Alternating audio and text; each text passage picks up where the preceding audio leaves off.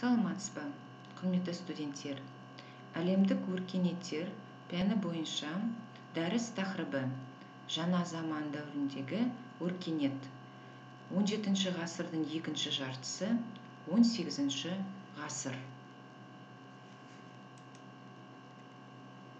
Тақырыптың негізгі сұрақтары силабуста көрсетілген. Назар аударыңыз. Дәрістің мақсаты жаңа заман дәуіріндегі өркениет туралы мағлұмат беру арқылы білім білікті қалыптастыру капитализм ұғымына мағлұмат беру модернизация ұғымына мағлұмат беру ағартушылық ілім және буржуазиялық қоғам өркениеті тарихы туралы деректер мен тарихнамасына сипаттама туралы тарихи деректер арқылы көздерін жеткізіп дұрыс түсініктерін қалыптастыру. 18 ғасырдағы ресейдегі модернизацияның ерекшеліктеріне зерттеудің ғылыми негізін қалыптастыру. Жаңа заман дәуіріндегі реформалық үрдістердің нәтижесінде әлеуметтік мәдениеттің жаңаша үлгілері жасалды. Олар өз заманындағы дамыған бүкіл өркениеттік құндылықтар қатарына енді. Бұл заманның ойшылдары өздерінің мемлекет құқық заң сияқты түсініктерін қалыптастыруда антикалық өркениеттің рухани мұраларына сүйенеді. Антикалық мұралар жаңа мемлекеттің үлгілерін іздестіруге негіз болды. Өткен бұл үлгілер қайта өрлеу заманында өмір сүрген адамдарға жаңа мәселелерді шешу үшін қажет болды. Жаңа заман ойшылдары дүниені түсіндіруде адамның тағдыры шыққан тегі атағы конфессиялық статусы арқылы алдын ала болжанбайды. Ол адамның қажырлылығы белсенділігі ілікті игілікті істері арқылы анықталуы тиіс деп түсіндірілді. Азаматтық халық игілігіне риясыз қызмет ету тұлғаның индивидтің ең басты мақсатына айналып басты мәселесі ретінде қарастырылды. Қорыта айтқанда жаңа заман саяси ойлар жүйесін азаматтық концепциялар жүйесіне жеткізуіне болады. Осы кезде қайта өрлеу немесе ренессанс орта ғасырдан кейін дүниеге келген зиялы мәдениет дәуірі. Қайта өрлеу терминін алғаш рет атақты кескіндемеші мен архитектор джорджо вазари қолданды. 1550 өзінің еңбегінде. Орта ғасырлар үстем болған діни сипаттағы мәдениеттің кейін антикалық ғылымдар және өнерді жаңарту дәуірі болып табылады. Қайта өрлеу дәуірінің басты белгілеріне мыналар жатады. Антропоцентризм гуманизм антикалық өнер мен философия жаңғырту антиклерикализм индивидуалдық гуманистік неоплатонизм пантеизм деген мағлұматтарға назар аударыңыз қайта өрлеу дәуірінің әйгілі философтары бұлар николай кузанский марселио фичини пико де ла Берандола, лоренцо валла мишель де монтен эразм ротендарский мартин лютер томас мор э, томазо кампанелла никола макиавелли джордана бруно Құрметті студенттер осы слайдта пико делла мирандола никола макиавелли және эразм ртендарский бейнелер көрсетілген. Назар аударыңыз. Томас мор мартин лютер лоренцо валла бейнелері көрсетілген. Назар аударыңыз. Жан кальвин мишель эйкем де монтень томазо кампанелла джордана бруно. Джордана бруно дін қызметкері философия докторы философик идеяларын жалған деп одан бас тартпағаны үшін 1600 жылы 17 ақпанда баяу жанған отқа өртеліп өлтірілді. Оның философиясы материалистік пантеизм деп анықталады.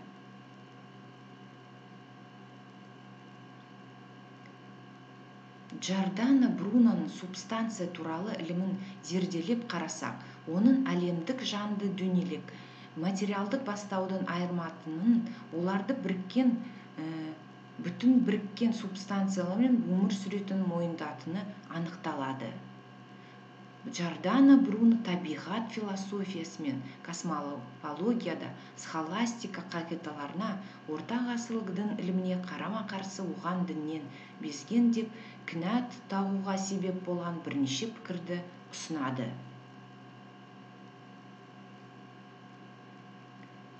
Орта ғасырлық схоластика өкілдерімен айтысса италия гуманистері антикалық мәдениеттің рухы мен идеяларын қайта жаңғыртуға ұмтылды. Ағартушылық дәуірі. Ағарту философиясының ерекшеліктері. Француз ағарту философиясы.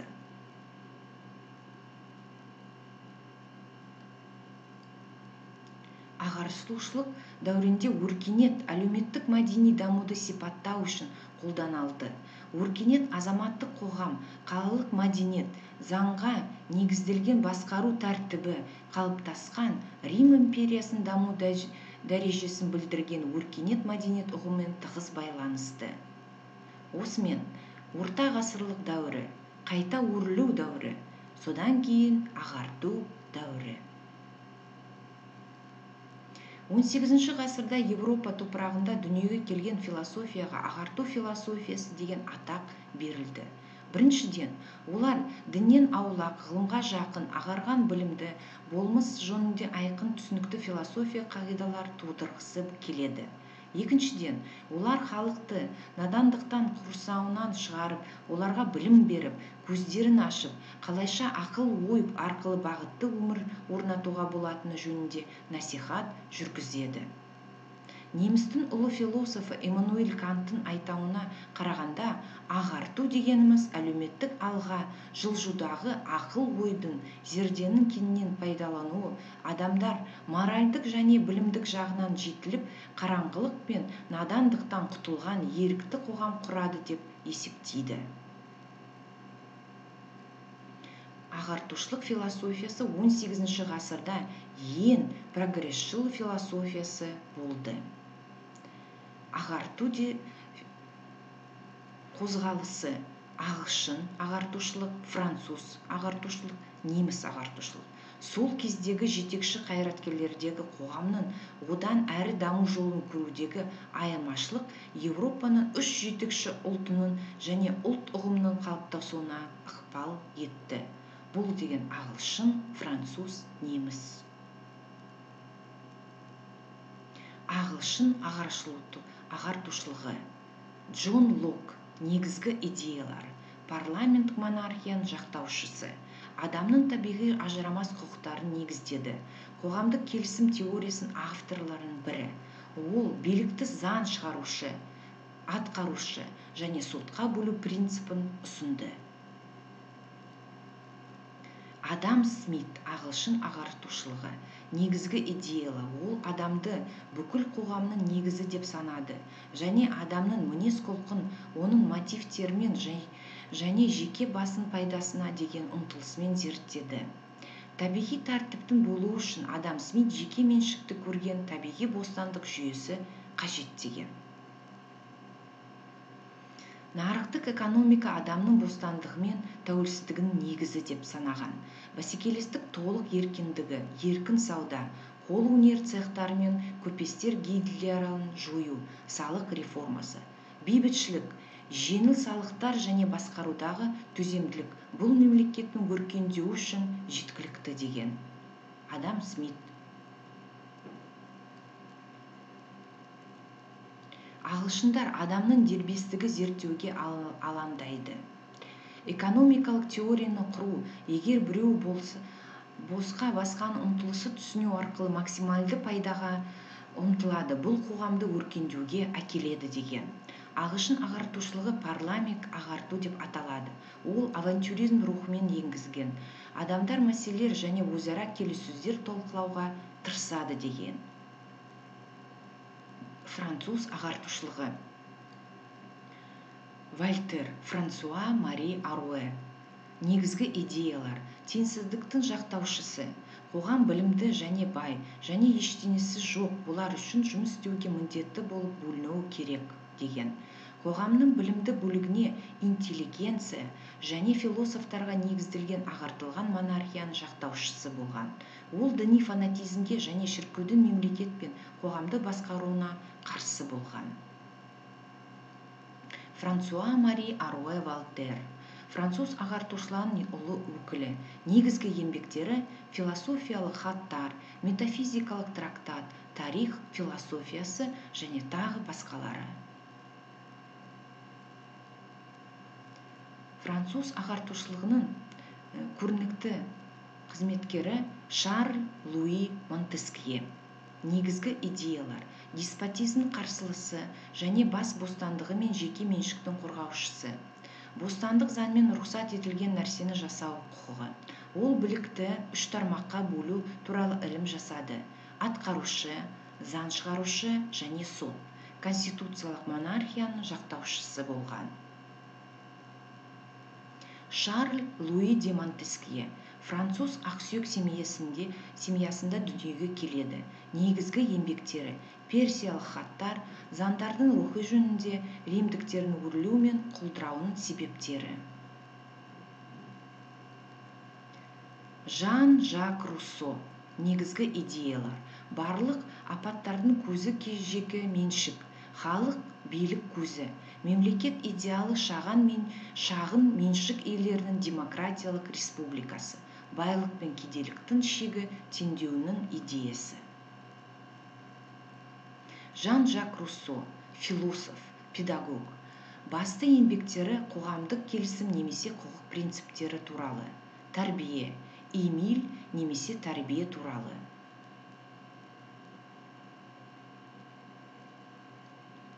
Француз ағартушылығы оның қызметкерлері дени дидро жан даламбер.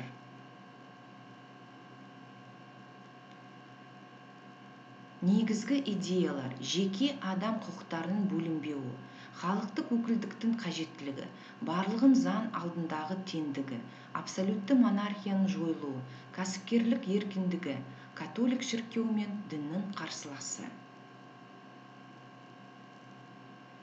Француз ағартушыларының өкілі вольтер жазушы философ және публицист жан жак руссо феодалдық қоғамды қатаң сынады адам теңдігін демократияны азаматтық қоғам идеяларын дамытты. Ағартушылық кезінде француз материалистер қоғамда ерекше орын алады. Дени дидро материя мен қозғалыстың бірлігін қуаттап абсолюттік тыныштықты қолдамады.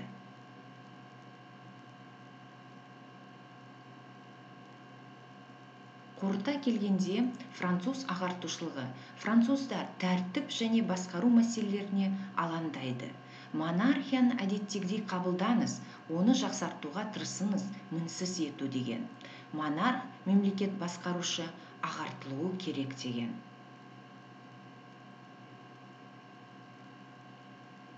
Неміс ағартушылығы германияның саяси бытыраңқылығы германияның экономикалық артта қалуы әлеуметтік экономикалық мүдделік және мораль мәселелеріне философия эстетика тәрбие.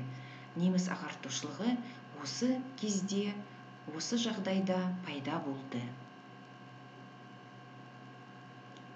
Гете шиллер. Неміс ағартушылар адам басында ақыл ойдың табынуы теріс болды сезімталдыққа артықшылық. Ұлттық мәдениет және ең алдымен ана тілі халық тасымалдаушы болып саналды. Әдебиеттен деспотиялық режимнен сынған жоқ жарқын күшті суреттер құмарлықтар кейіпкерлер талап етті.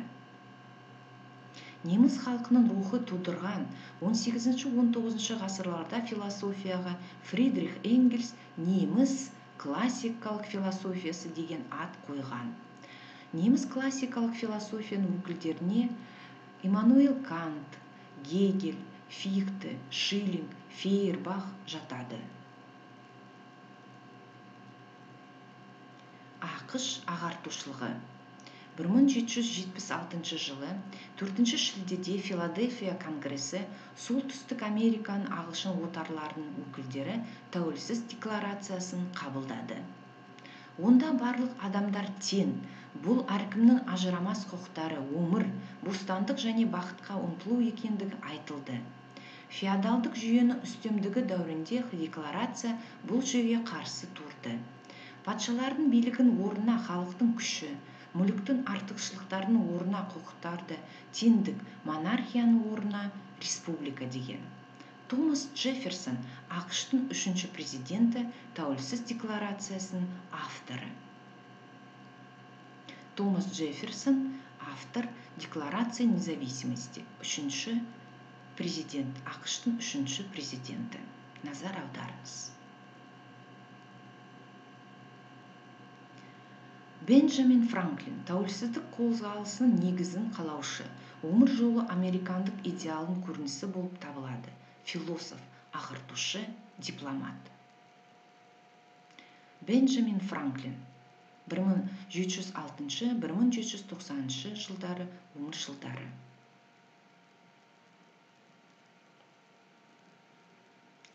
Бенджамин франклиндің негізгі идеялы ол өмірді бостандықты және меншікті қамтитын адамның табиғи және ажырамас құқықтары тұжырымдамасын қорғады.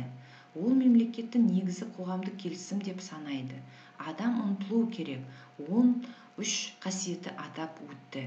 Махаббат тәртібіне табандылық еңбек сүйгеншілік адалдық әділдік тыныштық тазалық және тағы басқалары. Орыс ағартушылығы. Орыс ағартушылық қозғалысының негізгі қызметкерлері новиков радищев.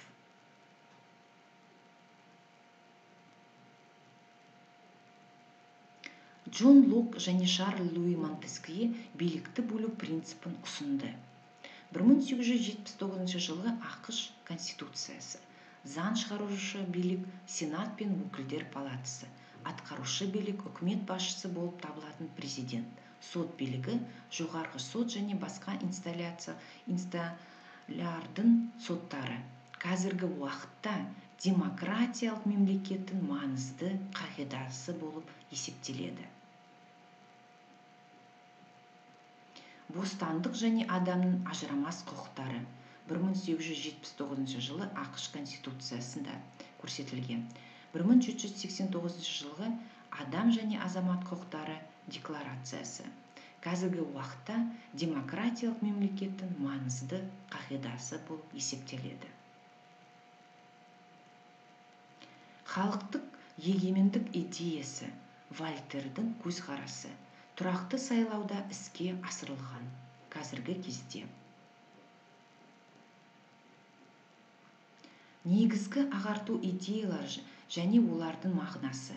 Ағартушылар адамның мінез құлқы мен қылықтарына қоғамдық орта мен тәрбиесі жауапты деген өте прогресшіл қағиданы ұсынды. Адамды қоғамдық орта қалыптастырады. Осыдан ағартушылар адамды оның мінез құлқын өзгерту үшін ең алдымен ортаны өзгерту керек деген революция қорытынды шығарады. Ағартушылық ілім және буржуазиялық қоғам. 15 ғасырдың аяғы мен 17 ғасырдың бірінші жартысында еуропа елдерінде ағарту ісі дами бастады. Біршама мектептер ашылып көптеген адамдар сол мектептерде оқып хат таныды шамасы бар уақытта адамдар өздерінің балаларын арнаулы білім беретін оқу орындарына оқытып белгілі бір мамандықты меңгеретін болды. Осы кезде батыс еуропада көптеген гуманист жазушылар шықты. Құрметті студенттер бекіту сұрақтарына назар аударыңыз. Осы бекіту сұрақтар силабуста көрсетілген. Құрметті студенттер э, бүгінгі дәріс э, тақырыптың ұсынылатын әдебиет. Осы бекіту сұрақтар және ұсынылатын әдебиеттер силабуста көрсетілген. Назар аударыңыз. Құрметті студенттер осымен дәріс тақырыбы аяқталды. Назарларыңызға көп көп рахмет.